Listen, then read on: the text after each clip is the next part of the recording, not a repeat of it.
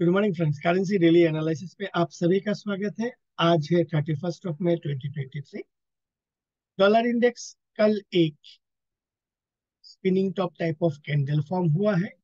Price rejections from the higher and that is at 104.5 currently at 104.03 so अभी immediately जो support zone है, वो है 103.50 से 103.80 के बीच।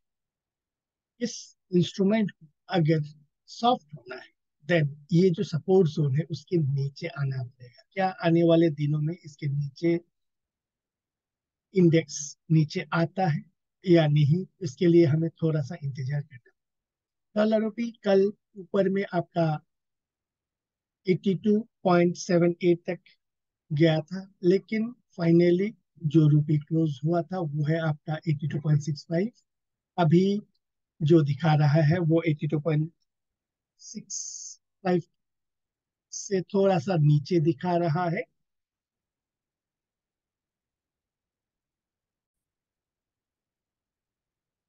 although it is showing 82.58 but market is around 82.6 to 63 levels that being the case हमें अभी इंतज़ार है 29th मई का लो that is at 82.5 तो 82.52 के नीचे टू बी प्राइसेस 82.50 के नीचे अगर आवरली बेसिस में नीचे की तरफ़ क्लोज दे देता है इन सच केस रूपी में सॉफ्टन टूवर्ड्स 82.30 35 लेकिन इंट्राडे पर्पस में may be 82.40 45 uh, is going to act as a support whereas on the higher side 82.7075 is expected to act as a resistance level gbp dollar कल अच्छा खासा bounce back किया from the low अभी ये 1.2424 levels में है।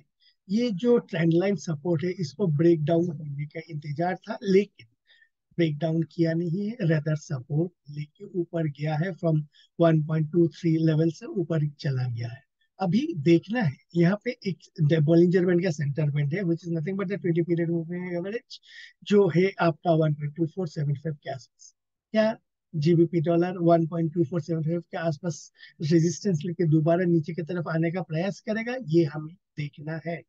GBP INR 102.61 है, ये भी अच्छा खासा बाउंस बैक किया from the swing low that is 101.87 से अभी है 10 2.73 that being the case अभी हमें जो immediate एक resistance है that is the center band of the Bollinger Band which is nothing but the 102.75 क्या इस एरिया पे ये रेजिस्टेंस लेता है या ऊपर की तरफ़ चला जाता है also RSI approaching 60 currently at 52.44 क्या ये RSI 60 में रेजिस्टेंस लेके नीचे आता है in such a case again it may try to test 101.8090 levels euro dollar कल लोअर लेवल से अच्छा खासा बाउंस बैक किया एंड एक अच्छा खासा पॉजिटिव कैंडल भी बनाया हुआ है एंड करेंटली एट 1.0735 हमें अभी देखना है।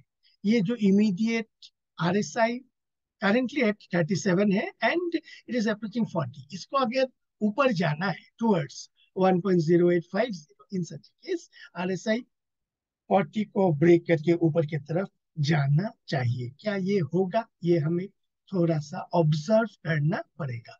अभी आते हैं आपका यूरो आयनर यूरो आयनर में भी bottom level that is at 88.40 level से ये 88.92 करेंटली लेवल से अभी एक चीज़ जो हमें देखना है, ये R S I R S I thirty nine point nine one ये क्या आर एस आई फोर्टी में सपोर्ट लेके ऊपर की तरफ़ जाएगा?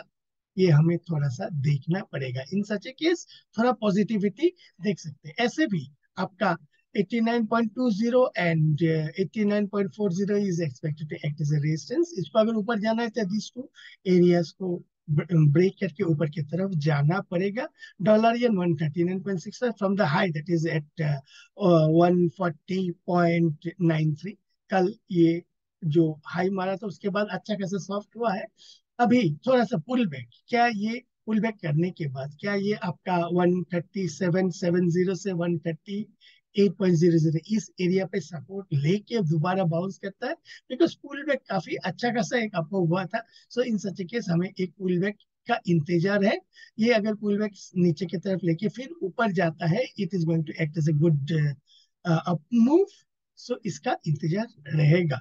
एन आईएनआर में आप बॉटम से point five eight six zero से दोबारा ऊपर की तरफ़ जा रहा है currently at fifty nine point one six immediate जो रेजिस्टेंस होगा वो है आपका fifty nine point five zero इस एरिया पे क्या हायर प्रोबेबिलिटीज हो सकता है कि रेजिस्टेंस ले सकता है? क्या आने वाले दिनों में ये, यहाँ पे रेजिस्टेंस लेके दोबारा नीचे आता है? इसका हमें थोड़ा इंतज़ार रहेगा डॉलर के अंदर।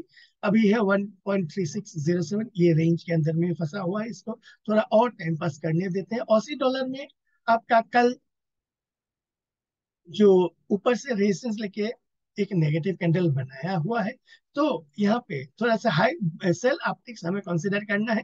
एंड एक बार अगर आपका 26 में का लो के नीचे कंटिन्यू करता है in such case we can expect some downward move in Aussie dollar CNH में कल एक अच्छा खासा अप मूव देखा गया दैट इज़ एट 7.0955 तो ये जो करेंसी पेयर है it is putting pressure on rupee also तो हमें while considering the dollar rupee price section इसको भी थोड़ा देखना है।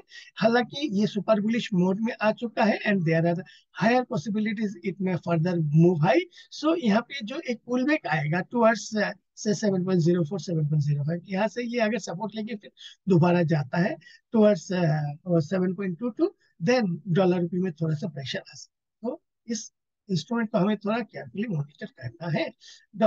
यूएस टेन कल अच्छा खासा सॉफ्ट हो गया अभी है three point six eight so जो अभी आपका immediate three point six one आपका इमीडिएट रेजिस्टेंस है।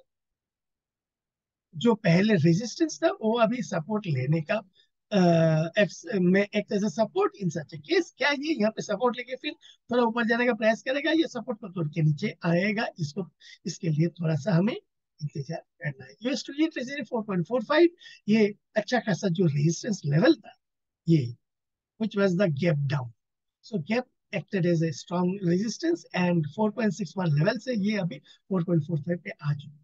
अभी जो पहले का जो रेजिस्टेंस था इट में act as a support so नीचे की तरफ़, आने के टाइम में यहाँ पे एक सपोर्ट लेने का प्रयास कर सकता है इन सच केस थोड़ा सा और यहाँ पे लेने के बाद क्या ये ऊपर की तरफ़ जाएगा या फर्दर डाउनवर्ड आएगा, ये हमें देखना। सो ओवरऑल ज़्यादा कुछ मीन्स ड्रास्टिक हम, हमें दिख नहीं रहा है जब तक डॉलर इंडेक्स आपका 103.50 के नीचे नहीं आता है।